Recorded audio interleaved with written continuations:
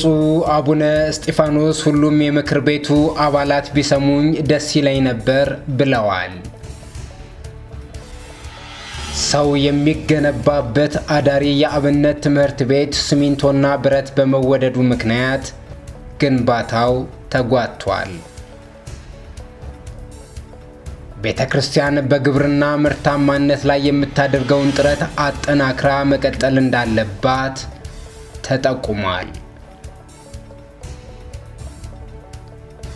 የወልዲያ ዩኒቨርሲቲ ተማሪዎች መንግስት ንጹሐንን የመጠበቅ ኃላፊነቱን እንዲወጣ ጠይቀዋል። የኢትዮጵያ ካቶሊካዊት ቤተ ክርስቲያን በጋምቤላና በምዕራብ ወለጋ የደረሰውን አሰቃቂ የወገኖቻችንን ግድያ አስመልክቶ መልእክት አስተላልፋለች።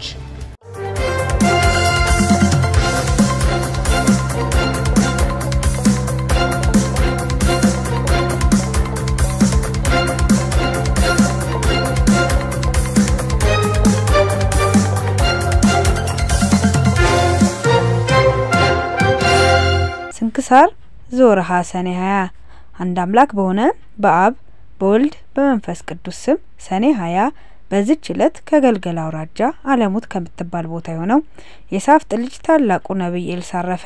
የዚህም ነቢይ መጠራቱ እንዲሆነ ኤልያስ አልፎ ሲሄድ የሳፍጥ ልጅ ኤልሳን በፊቱ አስራ ሁለት ጥማድ አስጠምዶ ሲያሳርስ አገኘው። እርሱም በእነዚያ የተሾመ ነበር። ኤልያስም ሄዶ መጎናጸፊያውን በላዩ ጣለበት። ኤልሳም ጥማዱን ትቶ ኤልያስን ተከተለው። ኤልሳም አባቴ እወድሃለሁ፣ አንተን እከተልሃለሁ አለው። ኤልሳም ብላቴናዬ አደርግሃለሁና ተመለስ አለው። እርሱም ኤልያስን ከመከተል ተመለሰ። አስራ ሁለቱንም ጥማድ በሬዎች ወስዶ አረደ። በላመፈጅ ጋኖች ቀቅሎ ለሕዝቡ አቀረበላቸው። እነርሱም በሉ። ኤልያስንም ተከትሎ ሄደ። ብላቴናውም ሆነ። ብዙ ዘመናት ሲያገለግለው ኖረ። ኤልያስም በሚያርግበት ጊዜ ኤልሳ ካንተ ተለይቼ ወደ ሰማይ ሳልወጣ አደርግልህ ዘንድ የምትሻውን ለምነኝ አለው። ኤልሳም ባንተ ያደረ ሀብተ መንፈስ ቅዱስ እጥፍ ሆኖ ይደርብኝ አለው። ኤልያስም ኤልሳን ድንቅ ነገር ለመንከኝ፣ ነገር ግን ካንተ ተለይቼ ወደ ሰማይ ስወጣ ብታይኝ ይደርብህ፣ ካንተ ተለይቼ ወደ ሰማይ ስወጣ ባታይኝ ግን አይሆንልህም አለው። ሁለቱም እየተነጋገሩ ሲሄዱ የእሳት ፈረስና የእሳት ሰረገላ መጣ፣ ወደ መካከላቸውም ገብቶ አራራቃቸው። ኤልያስም በመናወጥና በጥቅል ነፋስ ወደዚህ ወደ ሰማይ አረገ። ኤልሳም አይቶ የእስራኤል ኃይላቸው ጽናታቸው አባ አባ ብሎ ጮኸ። ከዚህ በኋላም ዳግመኛ አላየውም። ልብሶቹንም ከሁለት አድርጎ ከፈላቸው። ኤልያስም ለኤልሳ መጠምጠሚያውን ጣለለት፣ በኤልሳም ራስ ላይም ወረደ። ኤልሳም ተመልሶ በዮርዳኖስ ባህር ዳር ቆመ። በራሱ ላይ የወረደችው የኤልያስንም መጠምጠሚያ ይዞ ውሃውን መታባት። ውሃውም አልተከፈለም። የኤልያስ ፈጣሪ ወዴት ነህ? ይህስ እንዴት ነው አለ። ከዚህ በኋላ ውሃውን መታው። ውሃውም ተከፍሎ ወዲያና ወዲህ ቆመ። ኤልሳም ተሻገረ። በዚህም ኤልሳ የመንፈስ ቅዱስ ሀብት በእጥፍ እንደተቀበለ ታወቀ። ኤልያስ የወንዙን ውሃ አንድ ጊዜ ከፈለ፣ ኤልሳ ግን ሁለት ጊዜ ከፈለ። ኤልያስ አንድ ሙት አስነሳ፣ ኤልሳ ግን ሁለት ሙት አስነሳ። ከዚህ በኋላ ሄዶ ወደ ኢያሪኮ ገባ። የዚያች ሀገር ሰዎች ጌታችን እነሆ እንደምታያት የዚች ሀገር ኑሯ ያማረ ነው፣ የሀገር ውሃ ግን ክፉ ነው፣ ሴቶች ሲጠጡት ይመክናሉ አሉት። ኤልሳም ጨው ጨምራችሁ አዲስ ሸክላ አምጡልኝ አላቸው። እነርሱም አመጡለት። ኤልሳም ወደ ውሃው ምንጭ ሄዶ ያንን ጨው በውሃ ምንጭ ጨመረው። እንዲህም አላቸው፣ እግዚአብሔር እንዲህ ይላል፣ እርሱን ከመጠጣት የተነሳ የሚሞት እንዳይኖር የሚመክንም እንዳይኖር ይህንን ውሃ አጣፈጥኩት። ከዚያች ቀን ጀምሮ እስከ ዛሬ ድረስ ኤልሳ እንደተናገረ ያ ውሃ ጣፋጭ ሆነ። ከዚያም ሀገር ወደ ቤተል ወጣ። ሲወጣም ከከተማው ሲወጡ ታናናሽ ልጆች በጎዳና አገኘ። እነርሱም አንተ ራሰ በራ ውጣ ውጣ እያሉ ይዘባበቱበት ጀመር። ወደ ኋላም ተመልሶ ባያቸው ጊዜ የእግዚአብሔር ስም ጠርቶ ረገማቸው። የዚያን ጊዜ ሁለት ድቦች ከዱር ወጥተው ከእነርሱ አርባ ሁለት ልጆች ገደሉ። ከነቢያት ልጆች አንዲት ሴት ነበረች። ወደ ኤልሳም ጮኸች ባሪያህ ባሌ ሞተ። ባሌ እግዚአብሔርን የሚፈራ ሰው እንደነበር አንተ ታውቃለህ። ባለዕዳ ሁለቱን ልጆቼን ወስዶ ይገዛቸው ዘንድ መጣ አለችው። ኤልሳም አዳርግልሽ ዘንድ ምን ትሻለሽ? በቤትሽስ ምን አለሽ? አላት። ዘይት ካለበት ማሰሮ በቀር ለእኔ ለባሪያህ ምንም የለኝም አለችው። ሄደሽ ከጎረቤቶችሽ ሁሉ የሸክላ እቃ ባዶ እቃዎች ተዋሺ፣ አታሳንሺ። ወደ ቤትሽም ገብተሽ በአንቺና በልጆችሽ ላይ ደጁን ዝጊ። በዚያም በሸክላ እቃ ዘይቱን ገልብጩ፣ የሞላውን አንስተሽ አኑሪ አላት። እርሷም ወደ ቤቷ ገብታ በልጆቿና በእሷ ደጃፏን ዘጋች። እነርሱም ያቀርቡላት ነበር፣ እርሷም እየቀዳች ትገለብጥ ነበር። ከዚህ በኋላ ልጆቿን ዳግመኛ የሸክላ እቃ አቅርቡልኝ አለቻቸው። የሸክላ እቃ ሁሉ አለቀ፣ የለም አሏት። ከዚህ በኋላ ያም ዘይት ተገታ። እርሷም ሄዳ ለእግዚአብሔር ነቢይ ነገረችው። ኤልሳም ሂጂ ይህንን ዘይት ሽጠሽ እዳሽን ክፈይ፣ የቀረውን ዘይት ግን የልጆችሽን ሰውነት የአንችን ሰውነት አድኝበት አላት። ከዚህ በኋላ ኤልሳ በአንዲቱ ቀን ወደ ሱማን ሄደ። እዚህ ሀገር አንዲት ታላቅ ሴት ነበረች። ወደዚያ ከመሄዱ ውሎ አድሮ ነበርና እህል ይበላ ዘንድ አቆመችው። ይችም ሴት ባሏን እነሆ ይህ የእግዚአብሔር ነቢይ ቅዱስ ነው ዘወትር በእኛ ዘንድ እያለፈ ይሄዳል። ትንሽ እልፍኝ እንስራለትና አልጋም እንዘርጋለት፣ መብራት የሚበራበት መቅረዝንም ወንበርም ጠረጴዛ እናዘጋጅለት፣ ወደ እኛ በመጣ ጊዜ በዚያ ይደር አለችው። ከዚህም በኋላ በአንዲት ቀን ወደዚያ ገብቶ በእልፍኙ አደረ። ደቀ መዝሙሩ ጊያዝንም ያችን የሱማን ሴት ጥራት አለውና ጠራት። እርሷን መታ በኤልሳ ፊት ቆመች። እነሆ ይህ ሁሉ ክብር አከበርሽኝ፣ ምን ላድርግልሽ? ከንጉሥ ዘንድ ከአለቃም ዘንድ ቢሆን ጉዳይ እንዳለሽ ንገሪኝ በላት አለው። እርሷም እኔስ በወገኖቼ መካከል እኖራለሁ አለችው። ምን ላድርግላት አለ። ደቀ መዝሙርም ግያዝን ልጅ የላትም ባሏም ሽማግሌ ነውና የሚታዘንላት ሴት ናት አለው። ደግሞም ጥራት አለው። በጠራትም ጊዜ መጥታ በደጃፍ ቆመች። ኤልሳም የዛሬ ዓመት እንደ ዛሬ ልጅ ትወልጃለሽ አላት። እኔን አገልጋይህን ጌቴን አታሳቅቀኝ አለችው። ከዚህ በኋላ ያቺ ሴት ጸንሳ ኤልሳ በነገራት ቀን በዓመቱ ወንድ ልጅ ወለደች። ያም ልጅ አድጎ ከአባቱ ጋር ወደ አዝመራ መጣ። አባቱም ራሴን ራሴን አለው። የሕፃኑም አባት ብላቴናውን ወደ እናቱ አስገባው። ብላቴናውም ያንን ልጅ ወደ እናቱ አስገባው። እናቱ እስከ ቀትር በጉልበቷ ላይ አስተኛችው። ከዚህ በኋላ በሞተ ጊዜ አውጥታ በእግዚአብሔር ነቢይ አልጋ ላይ አስተኛችው። ዘግታበትም ወጣች። ባሏንም ጠርታ ወደ እግዚአብሔር ነቢይ እሄዳለሁና አንድ አህያና ከብላቴኖቹ አንድ ብላቴና ስደድልኝ አለችው። ባሏም መባቻ አይደለ ቅዳሜም አይደለ ዛሬ ለምን ትሄጃለሽ? አላት። እጅ ነሳው ዘንድ እሄዳለሁ አለችው። አህያውንም ጫኑላት። አገልጋዩንም ተነስ እንሂድ ባልኩ ጊዜ መሄድህን አትከልክለኝና ና ተከተለኝ፣ ወደ እግዚአብሔር ነቢይ ወደ ቀርሜሎስ እንሂድ አለችው። ሄደች። ኤልሳም ያችን ሴት ስትመጣ ባያት ጊዜ ብላቴናውን ግያዝን ያቺ ሴት ሱማናዊቷ ሴት ናት። አሁንም ሩጠህ ሂድ ተቀበላት። ደህና ነሽ? ባልሽስ ደህና ነው? ልጅሽስ ደህና ናቸውን? በላት አለው። እርሷም ደህና አለችው። ወደ ኤልሳም ዘንድ ወደ ተራራው ደርሳ እግሩን ያዘችው። ግያዝም ሊከለክላት መጣ። ኤልሳም ሰውነቷ አዝናለችና ተዋት፣ እግዚአብሔር ግን ነገሩን ሰውሮልኛል አልነገረኝም አለው። አታሳቅቀኝ ያልኩ አይደለምን? በውኑ እኔ ካንተ ከጌታዬ ልጅን የለመንኩ መለመን አለን? አለችው። ኤልሳም ግያዝን ወገብህን ታጠቅ፣ በትሬንም በእጅህ ይዘህ ሂድ፣ ሰውን ብታገኝ እንዴት ናት ተበለው፣ እንዴት ነው ቢልህም አትመልስለት፣ በትሬን በሕፃኑ ግንባር ላይ ያስቀምጣት አለው። የዚያም የሕፃን እናት እንዳልተወ ሕያው እግዚአብሔር በረከትህ አለችው። ኤልሳም ተነስቶ አብሯት ሄደ። ግያዝም በፊታቸው ሄድ ነበርና ሩጦም ቀደማቸው። በትሩንም በዚያ ልጅ ግንባር ላይ ጣለበት። ነገር ግን አልሰማውም፣ አልተናገረውም። ግያዝም ተመልሶ ኤልሳን ተቀብሎ ያ ልጅ አልተነሳም አለው። ኤልሳም ወደ ቤቱ ገብቶ ሕፃኑ ሞቶ በአልጋ ላይ ተኝቶ አገኘው። በሁለታቸውም ላይ ደጃፉን ዘግቶ ወደ እግዚአብሔር ጸለየ። ወደ አልጋውም ላይ ወጥቶ በዚህ ሕፃን ልጅ ላይ ተኛ። አፉን በአፉ ዓይኑን በዓይኖቹ ላይ እጆቹን በእጆቹ ላይ አድርጎ በላዩ ላይ ተኛ። የዛም ልጅ ሰውነት ሞቀ። ከዚህ በኋላ ተነስቶ በቤቱ ውስጥ ወዲያና ወዲህ ተመላለሰ። ዳግመኛም ሞቶ በዚያ ልጅ ላይ ተኛ። እስከ ሰባት ጊዜ እንዲህ አደረገ። ከዚያም በኋላ ያ ልጅ ዓይኑን ገለጠ። ኤልሳም ግያዝን ጠርቶ ያችን ሱማናዊት ሴት ጥራት አለው። ጠርቷት ወደ እርሱ ገባች። ኤልሳም እነሆ ልጅሽን ውሰጂ አላት። እርሷም ከእግሩ ላይ ወድቃ ሰገደችለት። ልጇንም ይዛ ወጣች። የሶሪያው ሰው ንዕማን ወደ እርሱ በመጣ ጊዜ በዮርዳኖስ ውሃ ከለምጹ አዳነው። ንዕማንም ብዙ እጅ መንሻ ወርቅና ብር ልብሶችንም አመጣለት። ከእርሱም ምንም ምንም አልወሰደም። ደቀ መዝሙሩ ግያዝን ተደፋፍሮ ናአምን ተከተለው። ምክንያት ፈጥሮ ናአምን እንዲህ አለው፣ ከኤፍሬም ሀገር ከነቢያት ልጆች ሁለት ሰዎች መጥተውብኛልና አንድ መክሊት ብርና ሁለት ልብሶች ስጣቸው ብለዋል አለው። ናአምንም ሁለት መክሊቶችና ሁለት ልብሶች ሰጠው። ኤልሳ ግያዝን ያደረገውን አውቆ ረገመው። የንዕማንም ለምጽ ገንዘብ ወዳጅ በሆነው በግያዝ ላይ ተመለሰ። በሰማሪያ ረሃብ ጸና። ከሶሪያ ሰዎች የተነሳ የአህያ መንጋጋ በአምስት ወቄት ብር እስኪለወጥ ድረስ ኳስ እርግብ የድርጎ አራት አምስተኛ ብር እስኪሸመት ድረስ በሀገራቸው በሶሪያ ሰዎች ሰፍሮ ተቀመጡ።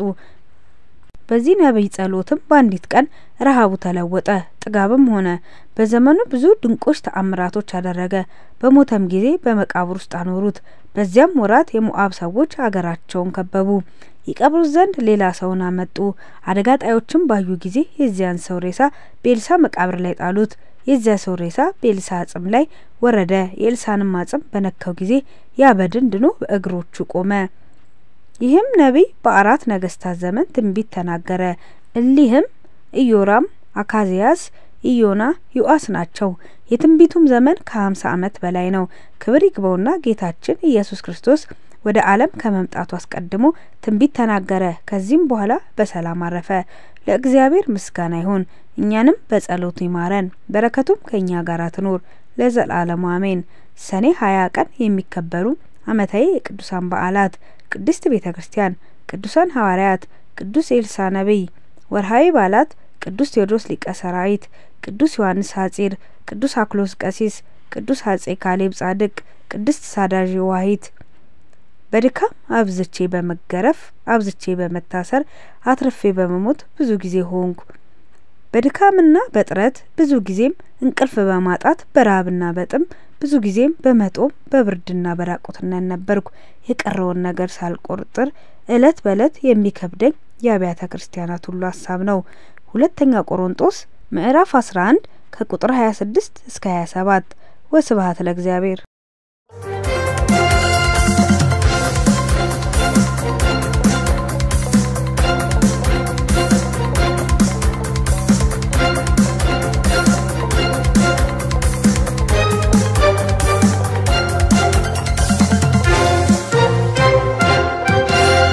ብፁዕ አቡነ እስጢፋኖስ ሁሉም የምክር ቤቱ አባላት ቢሰሙኝ ደስ ይለኝ ነበር ብለዋል።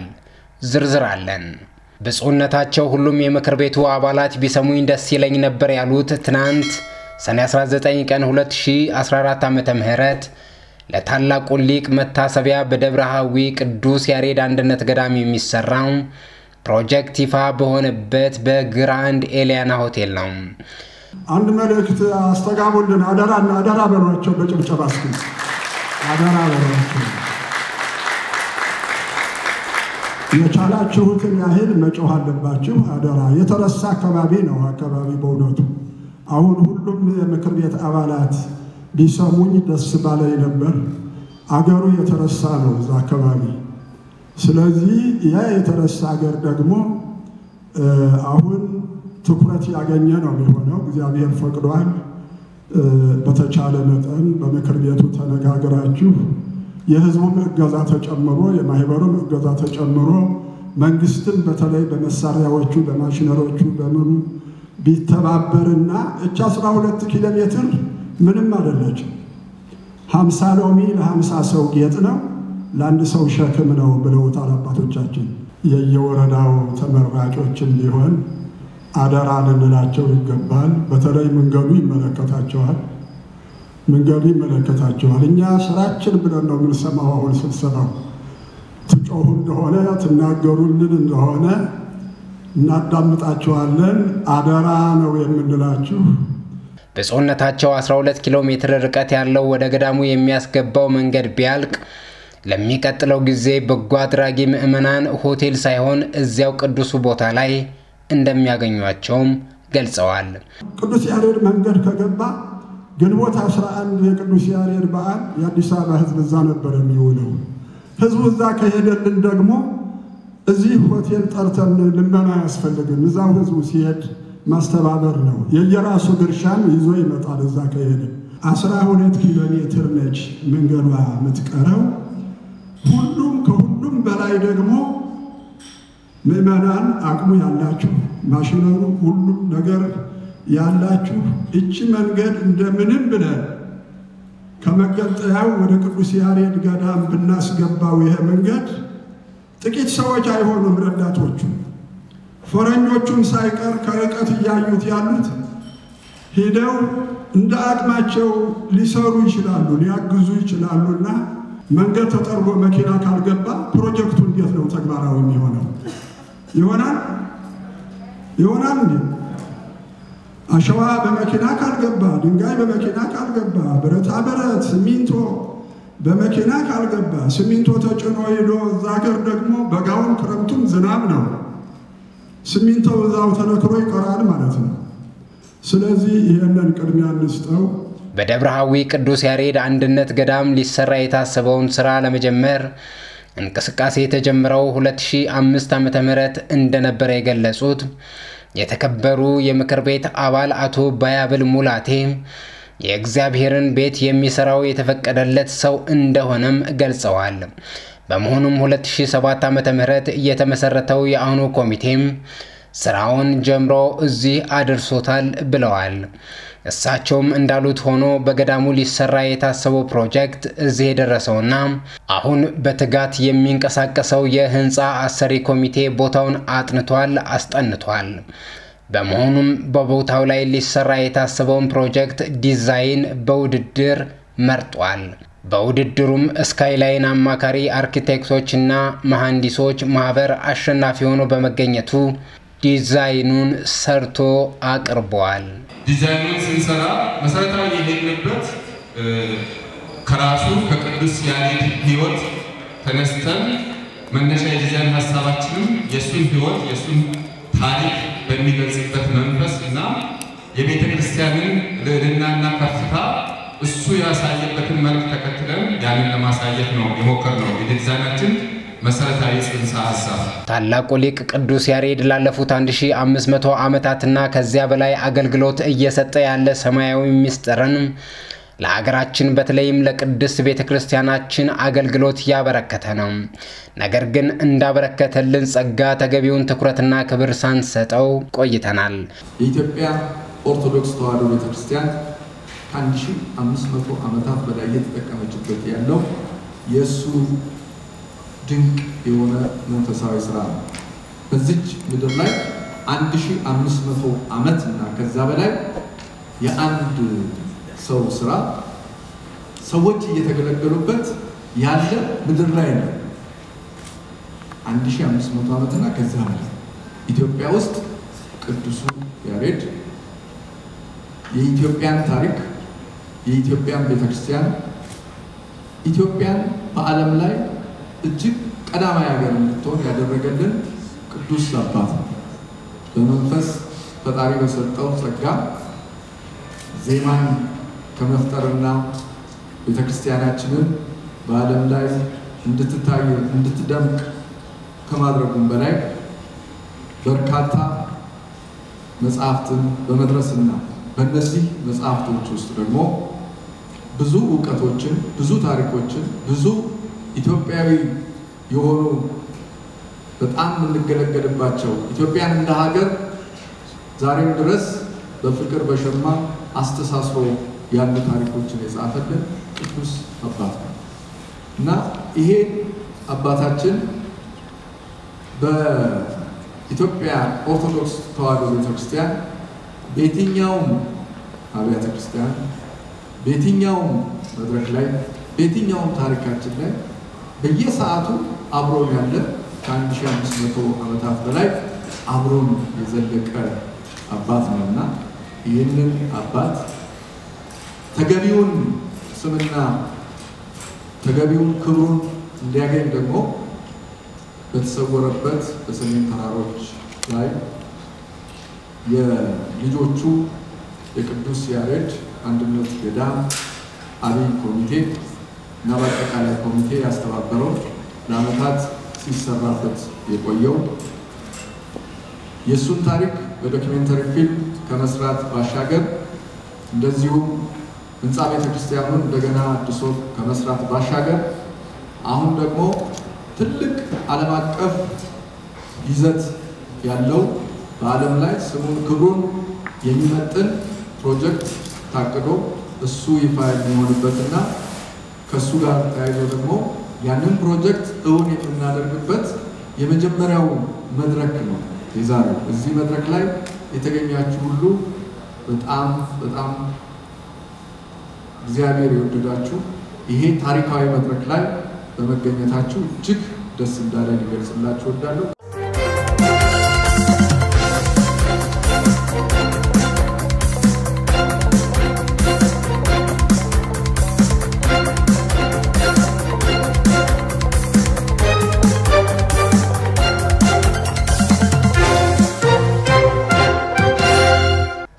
የሚገነባበት አዳሪ የአብነት ትምህርት ቤት ሲሚንቶና ብረት በመወደዱ ምክንያት ግንባታው ተጓቷል። ዝርዝር አለን። 300 ወንድና 100 ሴት በጠቅላላው 400 የአብነት ተማሪዎችን በአንድ ጊዜ ተቀብለውም በስድስት የአብነት ጉባኤ ቤት ማስተማር ያስችላል ተብሎ የታቀደው መንፈሳዊ ተቋም የሚገነባው በሰሜን ወሎ ሀገረ ስብከት በወልዲያ ከተማ ወይብላ ማርያም ነው። ለቅድስት ቤተ ክርስቲያን አገልግሎት መፋጠን የሚተጋ ተተኪና ተረካቢ ትውልድ ለማፍራት በብፁዕ አቡነ ኤርምያስ አማካይነት የተጀመረው አዳሪ የአብነት መንፈሳዊ ትምህርት ቤት ምንም እንኳን ግንባታው ቢጀመርም በብረትና በሲሚንቶ መጥፋት የተነሳም እንደታሰበው መሄድ አልቻለም። ፕሮጀክቱ ሰፊ በመሆኑ ሁሉም ኦርቶዶክሳውያንና አገር ወዳድ ወገኖች እንዲረባረቡ ጥሪ ቀርቧል። በሰሜኑ የሀገራችን ጦርነት ምክንያት 109 ቤተ ክርስቲያን የጦርነቱ ሰለባ ሆነው ለከፋ ጉዳት የተዳረጉበት አህጉረ ስብከት አሁን ካለበት የህንፃ አብያተ ክርስቲያናት ጉዳት በተጨማሪ ተተኪ አገልጋይ አለመኖሩ የሚያሳስበው አህጉረ ስብከት መሆኑ ይታወቃል።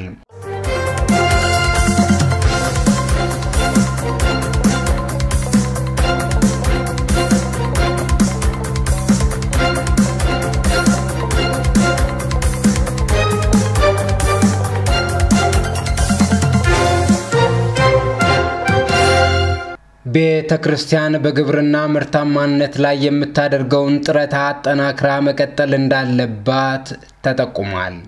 ዝርዝሩን ማዕዶት ገብሬ ታቀርብልናለች። ቤተ ክርስቲያን በግብርና ምርታማነት ላይ የምታደርገውን ጥረት አጠናክራ መቀጠል እንዳለባት ተገለጸ። የፋጂ ደብረ መንክራት ቅዱስ ጊዮርጊስ ቤተ ክርስቲያን ከሶሌ ደብረ ሰላም መድኃኔ ዓለም ቤተ ክርስቲያን ጋር በአንድ ሰበካ ጉባኤ ይተዳደር የነበረ ቢሆንም በሕዝቡ ጥያቄ የራሱ ሰበካ ጉባኤ ከተቋቋመለት በኋላ በአገልግሎት በልማት ራሱን መቻሉን የሻሸመኔ ወረዳ ቤተ ክህነት ሕዝብ ግንኙነት አስታውቋል።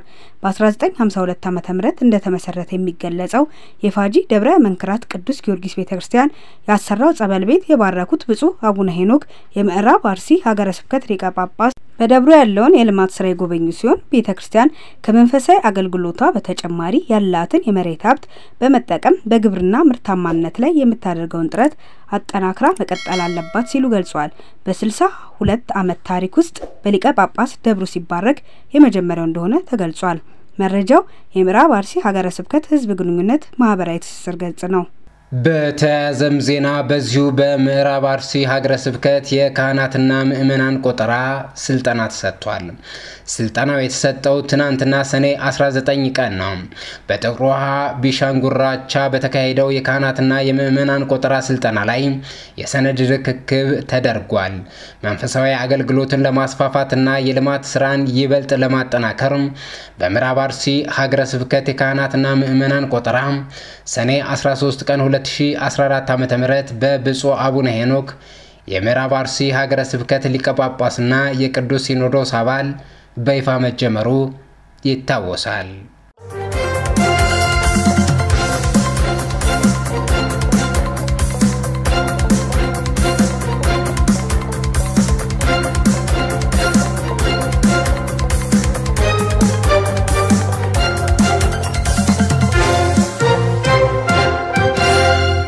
የወልዲያ ዩኒቨርሲቲ ተማሪዎች መንግስት ንጹሐንን የመጠበቅ ኃላፊነቱን እንዲወጣ ጠይቀዋል። ዝርዝር አለን። መንግስት ንጹሐንን የመጠበቅ ኃላፊነቱን እንዲወጣ ፍትህና ተጠያቂነት እንዲሰፍን በአማራ ክልል በሚገኙ ዩኒቨርሲቲዎች ያሉ ተማሪዎች በሰላማዊ ሰልፍ እየጠየቁ ይገኛሉ።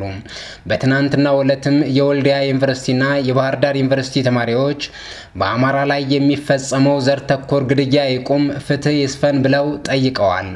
ተማሪዎቹ ምንም እንኳን በሰላማዊ ሰልፍ ጥያቄዎቹን ያቀረቡ ቢሆንም አመፅ ተቀስቅሶ እንደነበረ ይነገራል።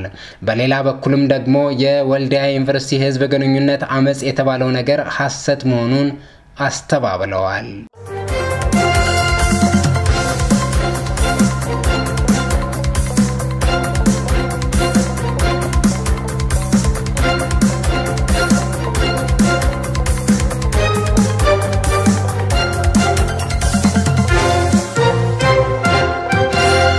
የኢትዮጵያ ካቶሊካዊት ቤተ ክርስቲያን በጋምቤላና በምዕራብ ወለጋ የደረሰውን አሰቃቂ የወገኖቻችንን ግድያ አስመልክቶም መልእክት አስተላልፋለች።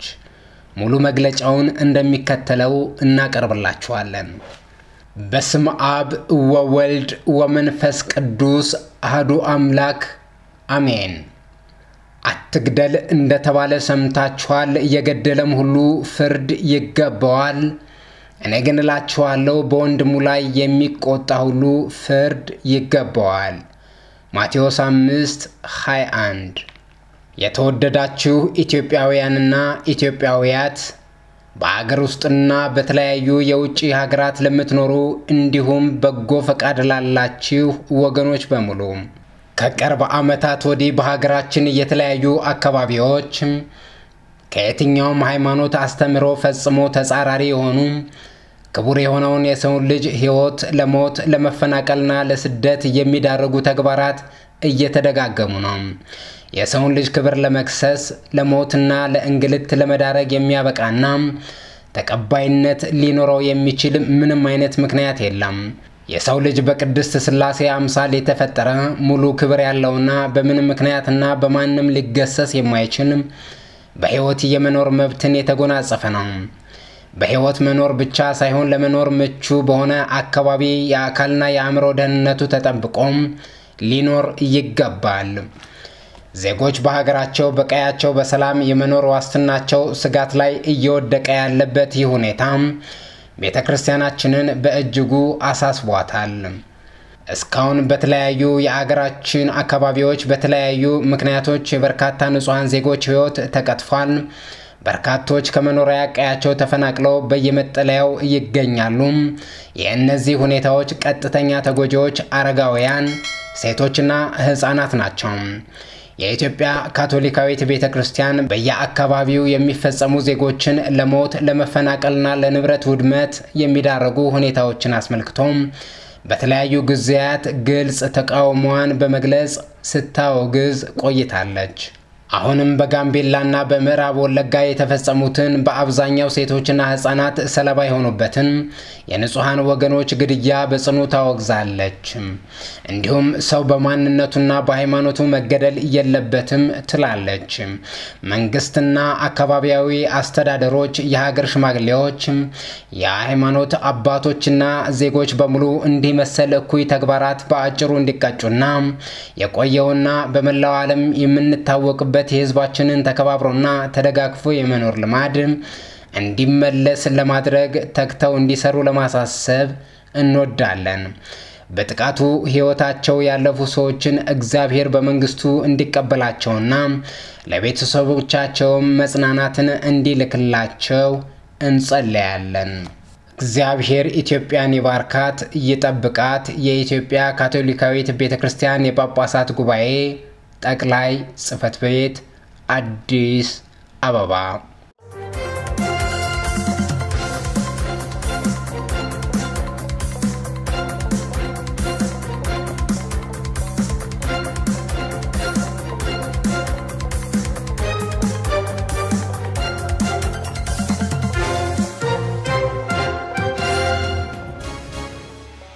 የተወደዳችሁና የተከበራችሁ የኖቲያት ሚዲያ ቤተሰቦች ለአሁኑ ያዘጋጀንላችሁ መረጃ እንደሰማችሁት ነበር።